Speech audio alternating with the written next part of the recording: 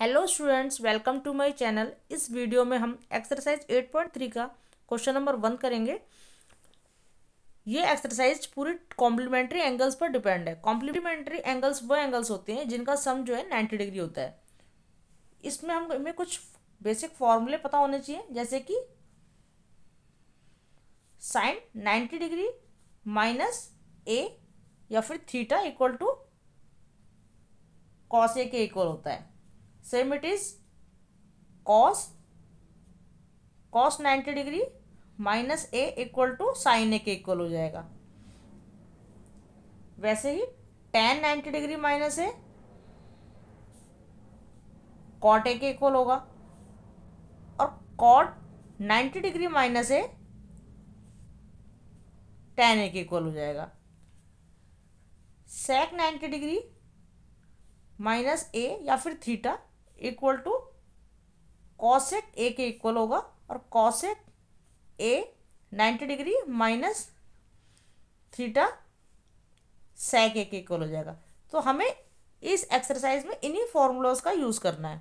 तो देखिए, पहला क्वेश्चन है हमारा साइन एटीन डिग्री अपॉन में कॉस सेवेंटी टू डिग्री। अभी हमने पढ़ा कि sine ninety degree minus A equal to cos A होता है तो हम यहाँ पर इसी को अप्लाई करेंगे।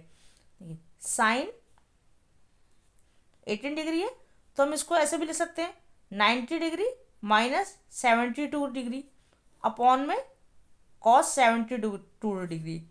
इनमें से हम किसी को भी एक को चेंज कर सकते हैं, जो, जिसका हमारा मन करे, कोई भी हम चेंज कर सकते हैं। तो मैंने यहाँ पर साइन वाले को चेंज कर लिया है sine ninety degree minus seventy two degree अगर मैं माइनस करती हूँ तो हमारा साइन एटीन डिग्री ही आ जाता है। तो देखिए, अभी हमने पढ़ा साइन नाइन्टी डिग्री माइनस एक कॉस एक होता है तो यहाँ पर आ जाएगा हमारा cos seventy two degree upon में cos seventy two degree. Cos seventy two से कॉस सेवेंटी टू कैंसिल हो जाएगा तो हमारा आंसर निकल कर आ जाता है वन अब हम इसका सेकंड पार्ट कर लेंगे। Tan twenty six degree upon में कॉट सिक्सटी फोर डिग्री। इसमें से भी हम किसी एक को भी चेंज कर सकते हैं। तो यहाँ पर मैं ऊपर वाले को एज इट इज़ रख लेती हूँ और नीचे वाले कॉट को चेंज कर लेती हूँ। तो cot ninety degree minus twenty six degree अगर हम करते हैं तो हमारा वो सिक्सटी फोर डिग्री निकल के आता है। तो यहाँ पर हो जाएगा tan, twenty six degree upon में cot ninety degree minus theta अगर करते हैं तो वो टेन एक इक्वल होता है तो यहाँ पर भी हो जाएगा टेन, ट्वेंटी सिक्स डिग्री। इनको भी कैंसिल हो जाए, कर देते हैं तो आ जाता है हमारा वन आंसर नेक्स्ट क्वेश्चन है हमारा cos forty eight degree minus sine forty two degree. इसमें से भी हम किसी भी एक को चेंज कर लेते हैं।